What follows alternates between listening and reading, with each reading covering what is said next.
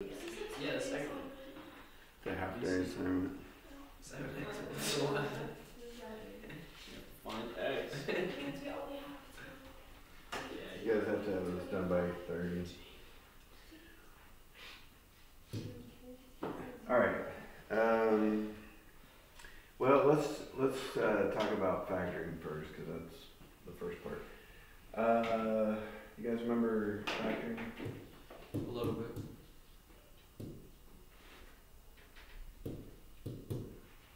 Okay, uh, how can we factor this? Take stuff out, yay, couple people remember. Two X comes out, so here's how we did it, we put a two X up in front, cause both of these are divisible by two X. And then in parentheses, we put what would be left if we divided both of these by two X. Okay, so two X divided by that, or six X divided by two X. Okay, and then that's, that would be it. Um, it works because if we multiply this back together, we go back to that. Um, we're not really just factoring on this first part, we're actually solving equations. So, do you guys know if this was equal to zero, what x would have to be? Positive three, because 3 minus 3 equals 0, and 0 times this is 0. What else? There's another one. 0. Why 0? 2 times 0 is 0, and then 0 minus 3. Yeah. It's negative 3, but times 0 is... Yeah, if there's an x on the outside, if you plug a 0 in there, 2 times 0 is 0. That'd be 0. Yes, that was another one. All right, let's try... Number 1.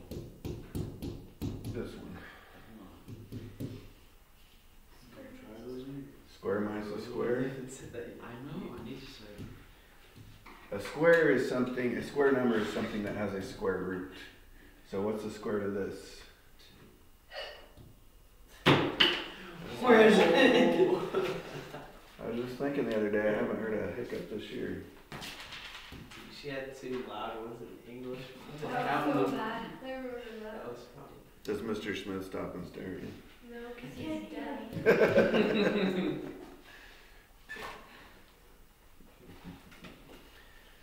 Uh, okay, and then uh, what goes into negative nine? Three and negative. Three and negative three.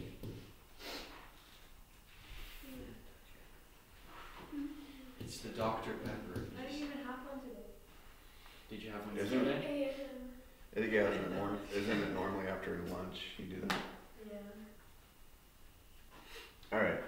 So I'm guessing we forgot this. How? What x values would make this equal to zero? Three or negative three? No, because two times three minus three is not zero. Mm. So?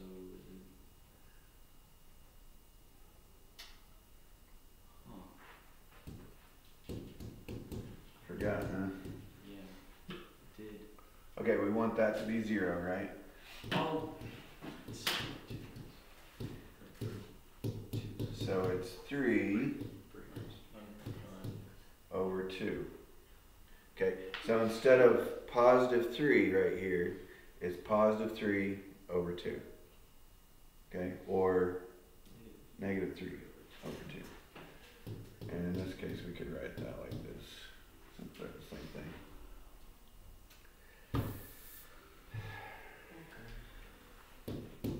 Not done.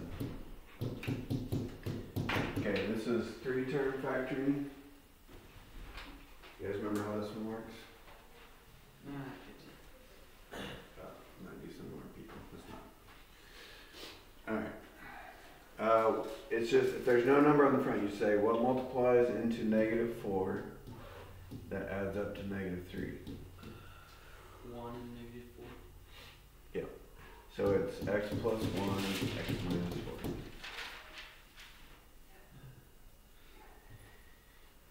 Or, so x equals negative one or four. Uh, let's see, two x squared, let's do.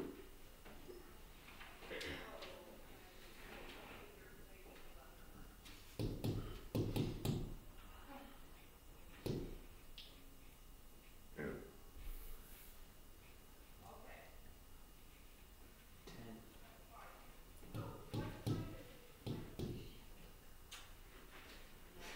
Okay, if there's a number on the front, we have to say, it's a little bit different. What goes into two x squared? Two. Two and one. What goes into negative six? But you're no longer saying that adds up to one. You have to do like a outside inside. What goes into negative six though? Two and three. One and Two and negative three, one and negative six, or negative might be on the other side. So let's try two and three. This is not, whoops. This one's not gonna work. But here's how you check it. You do the outside, negative six, and the inside plus two, like you're foiling it. And that should give you the middle term. And this one doesn't. But what happens if we switch the order? So now we got four x minus three x is one x. Did you breakfast or something? Is that the difference? I ate yogurt. Yogurt, gotcha. Yogurt. Okay, anyway, this one works. Uh, if you get the right number, but it's opposite, like if we had got negative one x to come out instead of positive one x, that means we need to switch the minus and the plus around. Okay, that's enough to get us going. Everything, but that'll get us going. So they start off, for some reason, number one is harder than number three. Oh, no, it's not. I didn't see that six over there.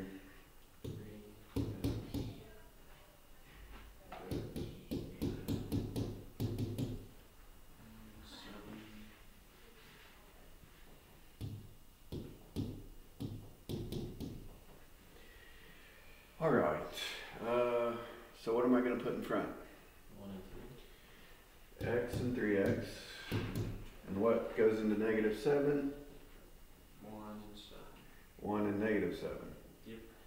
Um, let's see if that works.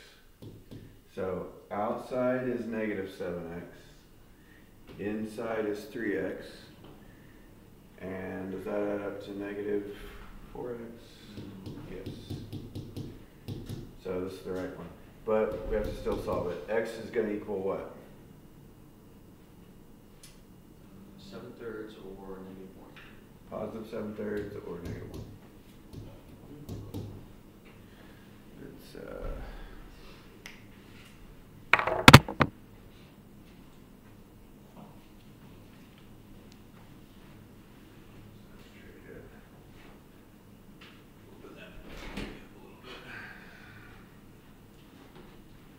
Lydia, you trying to trip me? I'm just trying to move my legs back so we can.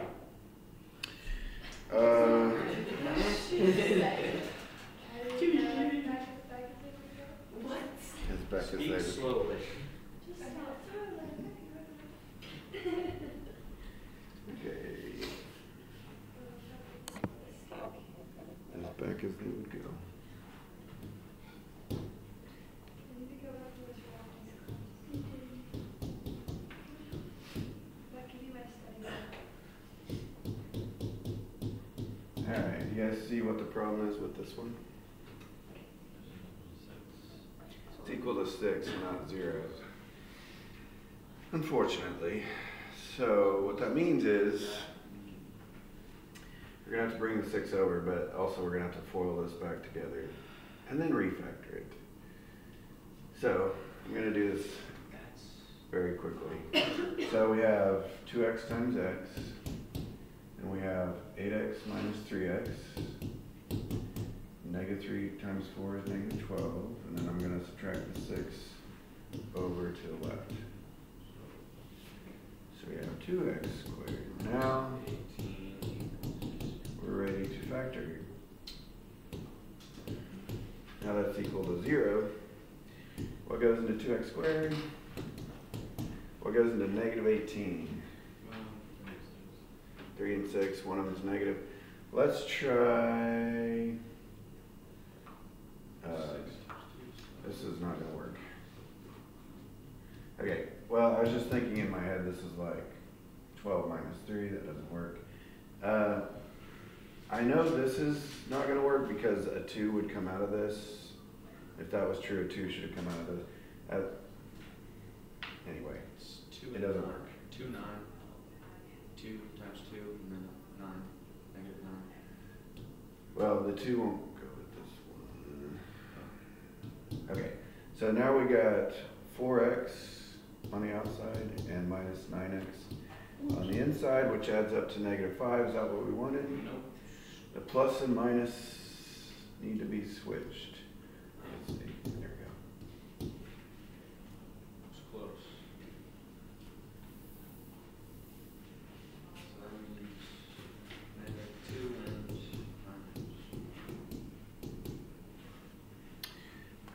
That's a lot of work.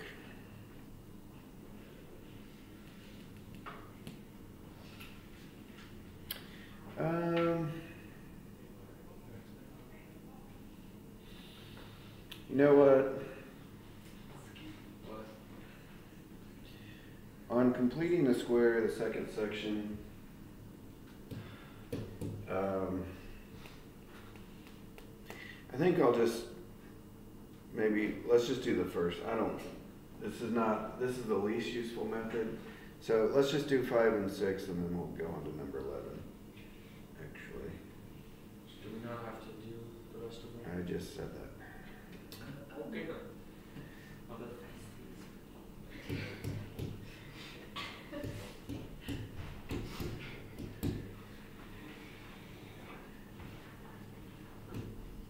Uh, Okay, when you're, writing these out, I don't know, we did them, we did them briefly last year too, cause usually they're not that useful. There's a couple cases where they're. Okay, so take good notes here, so you do number six, but you take the second term, you divide it by two, and then you square it. So what's negative ten divided by two? Five. Negative squared? Twenty-five. So what we're gonna do is add twenty-five both sides, that's why I left it blank right there. You don't have to, if you didn't leave any space, just write it below, doesn't matter. Okay, the reason that we did that is now the left is going to, it's a perfect square, it factors perfectly. Um, what goes into x squared, x times x, what goes into twenty-five, what multiplies to twenty-five that adds up to negative ten? Negative five, negative Yeah, and there's kind of a trick, like the number in parentheses right here will always be that number. Negative ten divided by two is negative five. Uh, and over here, that adds up to sixteen hundred.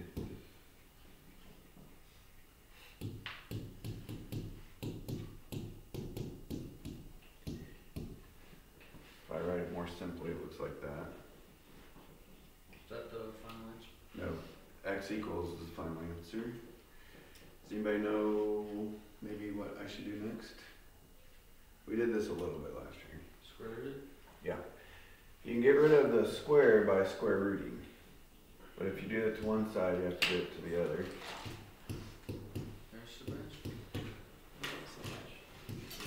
think so. It's his long hair. What if he got pulled over? That's what we just said. Oh, really? Sebastian would fit in the sixties really well. More like the seventies in my opinion. Sixties. The hippie movement was like late sixties, Uh, but yeah, into the seventies. Alright, anyways, uh, something is wrong though. X needs Anytime you square root both sides. I can't believe somebody remembered it. Stupid wasn't I, I knew it wasn't, I was about to say, I knew it wasn't be that. Sam. Okay, sometimes this is a squared answer, but how do I solve this for x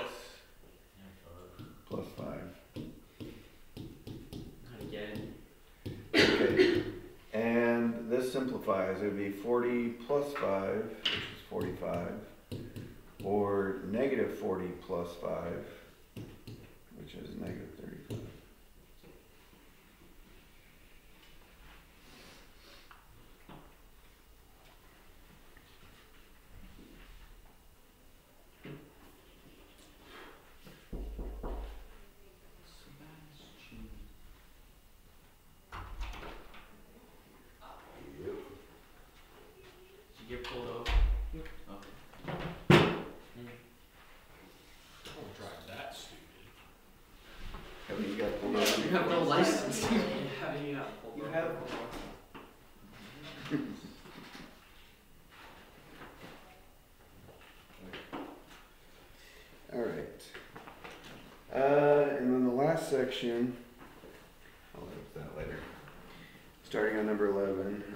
Third section, I should say, not the last section. Um, the last method, how can we solve quadratic equations besides factoring and completing the square? Quadratic formula. Um, I guess I'll write over here for the video's sake. You guys remember it? It's all over two A, I remember that much. Negative b plus or minus root of two a. No, That's that part. four. b squared minus 4ac.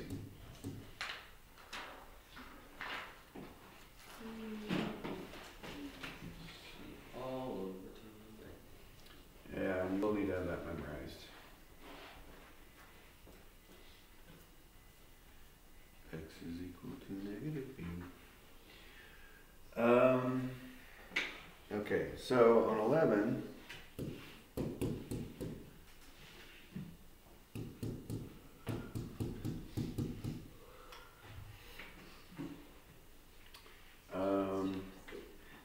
What's my A, B, and C in 11?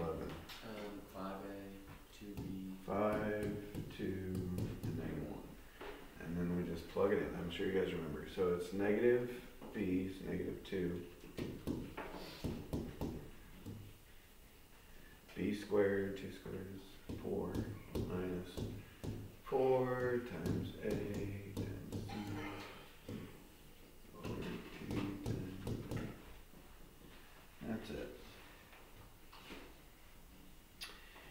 parentheses, this part's kind of important. It's called the discriminant because uh, kind of decides what kind of answers we're going to have.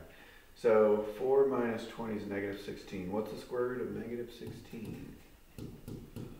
4i. 4i. The 1 is negative, sorry.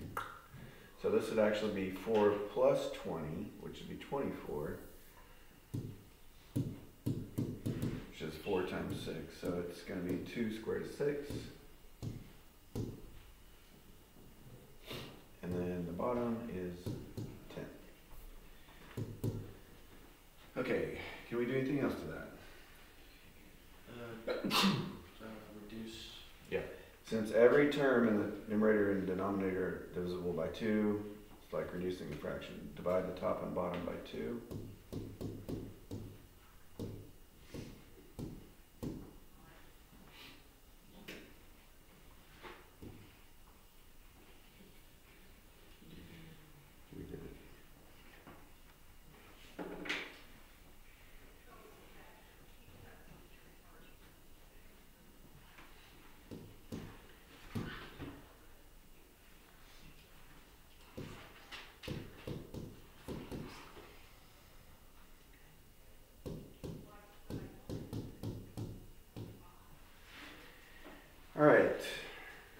One? Anybody have any bright ideas? Yeah. You want it equal to zero.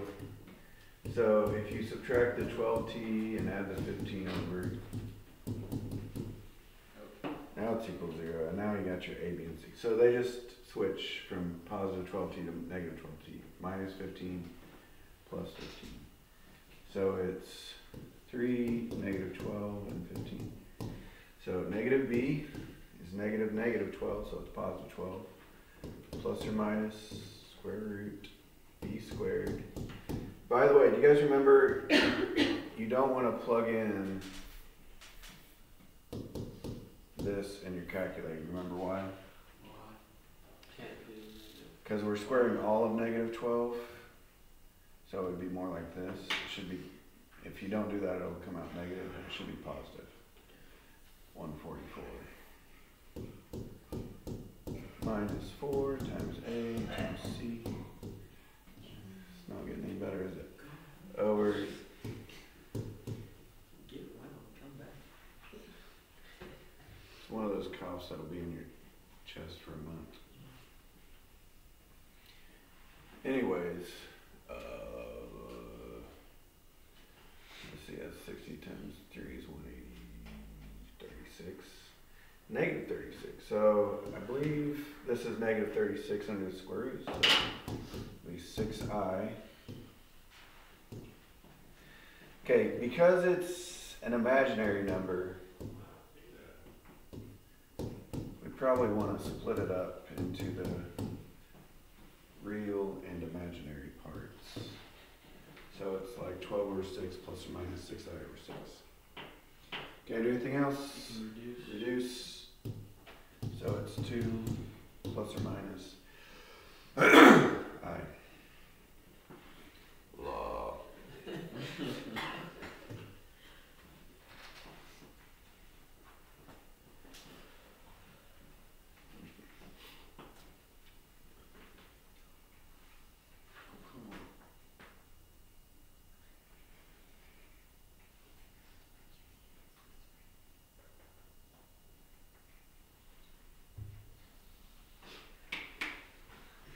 Okay, fifteen.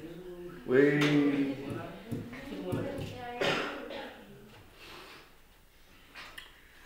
Oh boy, oh my.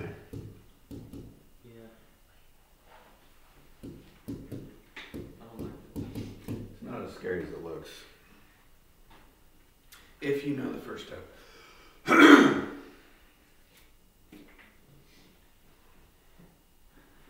Anybody have a guess for the first step? Uh, do you multiply by the bottom? Put your slides back on, you hippie. He's like messing with I bet there's so over his big toes gripping the. Was gripping what? The slide. No, you could probably write with those toes. Sam, why is there a giant fan? Uh, my, I have to, I have a mole on not a mole. Is it a mole? I don't know, I have something on my foot that I Let's see, put, let me see. That I put, a wart, yes, I put vinegar on it, and so, Some kind of special grip. yeah. So why are you wearing slides? You're gonna infect us all. Slides are coming. He's infected the whole. At least wear floor. socks. No. Oh. Feet Oh. start sweating. Did you guys even say this? We should cross multiply. Oh. I I said- started doing I said that. Lies. I said that. Sam pulled up to the first day of school with no slides. With just slides on. Slide no socks.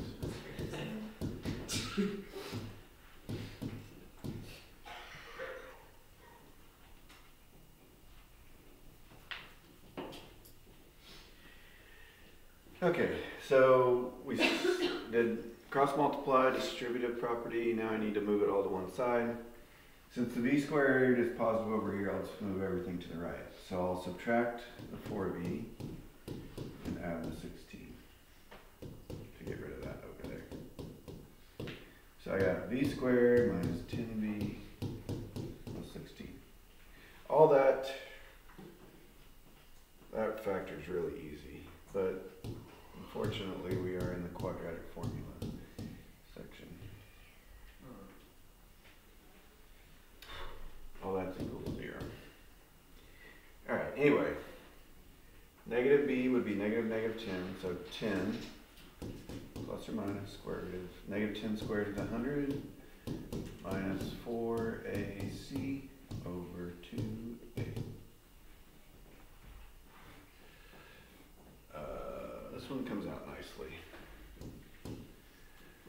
inside the parentheses is 36. Square root of 36 is 6.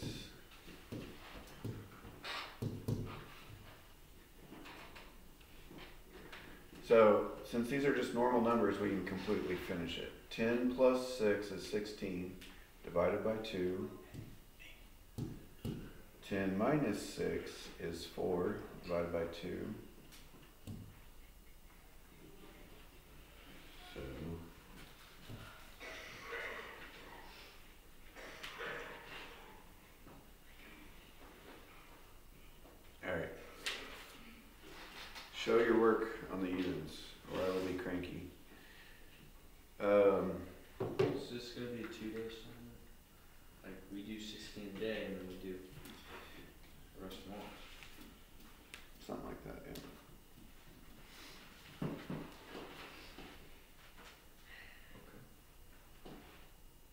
So going through sixteen, uh, Sebastian, we're actually skipping seven through ten.